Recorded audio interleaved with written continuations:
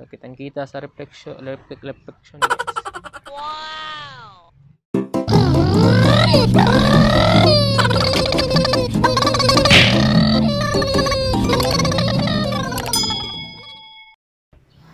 Right, good morning everyone. So dahil naka-quarantine tayo, wala tayong magawa. So ang gagawin natin ngayon is mag-install tayo ng hydraulic switch. So hindi natin gagamitin yung stock switch niya.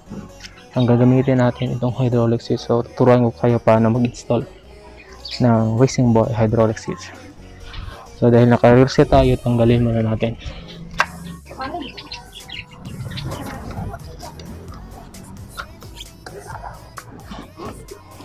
So yan guys, natanggal na natin yung uh, reset natin. So ito yung switch ng uh, stock, stock switch niya sa ano.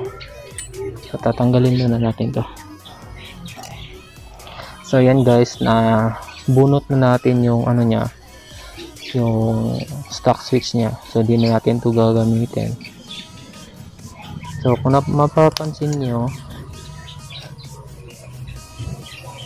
iba sila yan sila. So ang gagawin, ang gagawin natin is puputulin natin to. Puputulin natin to. Pagpalit lang natin sila. Para pwede siyang makabit dito sa kanyang socket. Since iba kasi yung socket ng ating ano eh. so same procedure lang ang gagawin nyo sa mga motor na gustong mag hydraulic switch. Tulin muna natin. So, pagpalit lang natin to, to guys. Itong dalawang to. So, hatiin na natin to. Kasi kung ano, kung sa darating na panahon na gusto nating ibalik ang ating switch na ito is makakabit pa din natin.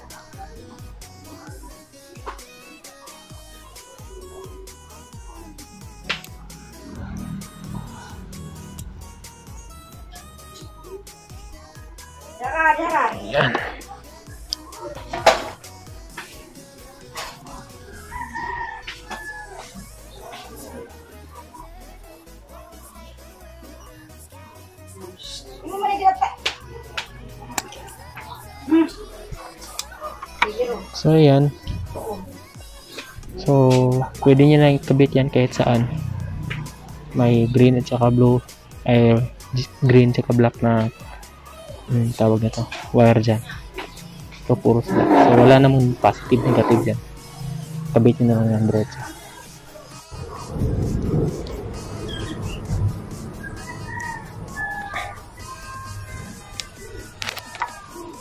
So, ayan guys.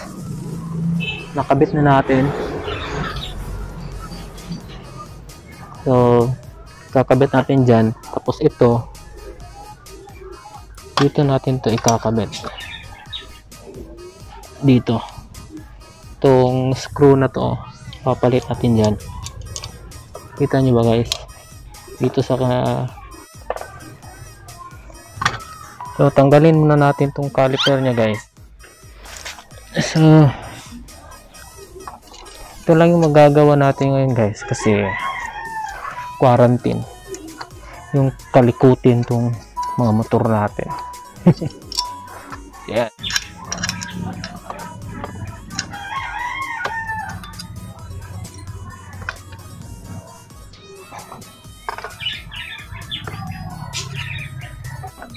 so yan ito yung papalitan.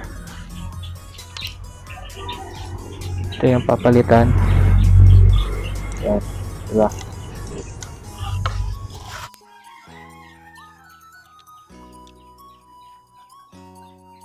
Tatagas talaga yung brake fluid dyan guys kasi nakabit yung brake fluid. Tinanggal natin to.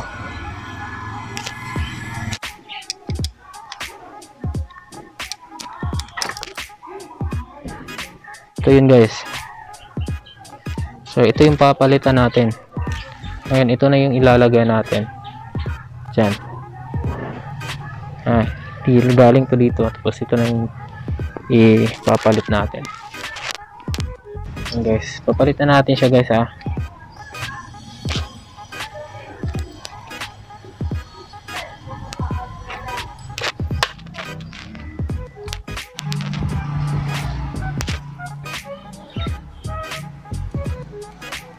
Yan guys.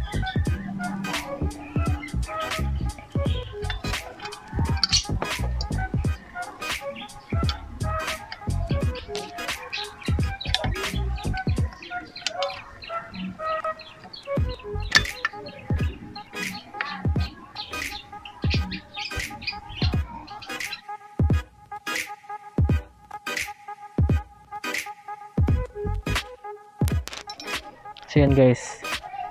Hihigpitan lang natin tong pinalit natin no. Ang ating hydraulic switch. Higpitan lang natin.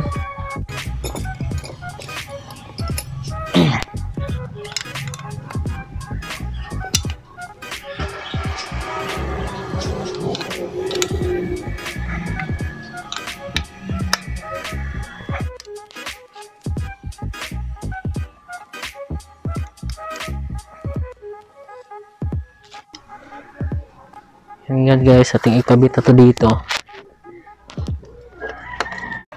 So yan, nakabit na natin mga sir. So ito yun oh. Review lang muna. Yung ating hydraulic switch yan, nasa screen. Yung kanyang parang bolt niya, papalit natin sa bolt kasi ito yung dati. Diyan yung dati. Ito yung ano niya, bolt dyan so pinalit lang natin yung hydraulic switch so ganyan lang mga sir. Sobrang dali. Tapos yung kanyang socket since hindi sila compatible pagpalit lang natin yung socket na stock socket tsaka socket ng ating hydraulic switch so ikakabit na, na natin. Balik tong ano. Babalik na natin tong ating rear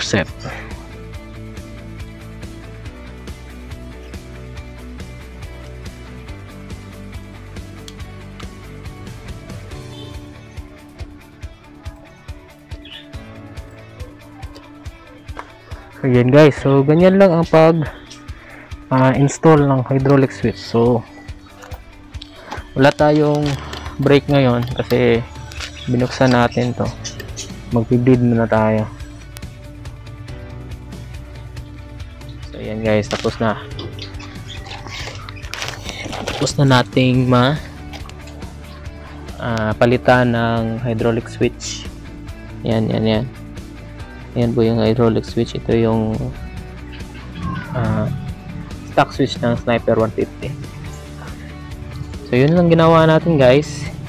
Pinalit lang natin yung screw niya dito. Yung tinanggal natin yung screw niya dito. Tapos, pinalit na natin yung hydraulic switch. So, kanina, nag-on siya kahit, kahit wala tayong brake. Umilaw siya. So, ngayon, try natin. So, natapos ko ng ma-bleed. Try natin i-break. Ayan. Ayan guys.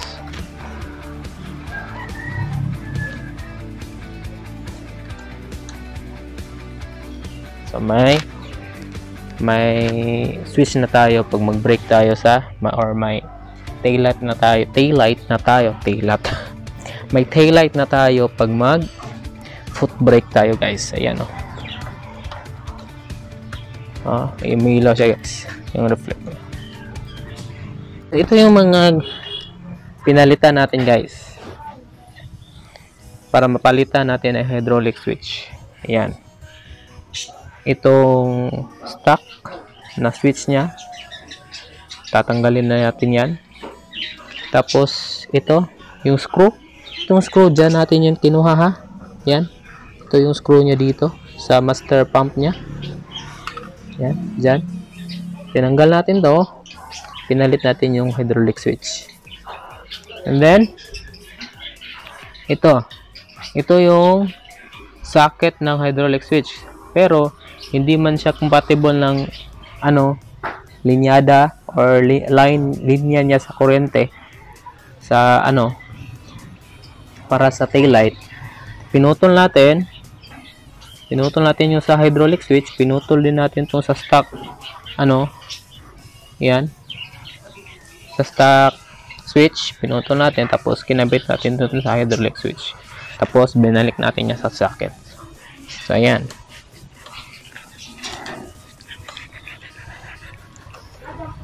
So, kitang-kita sa reflection, reflect, reflection guys. Gago! Alright. So, ayan. Thanks for watching. Bye.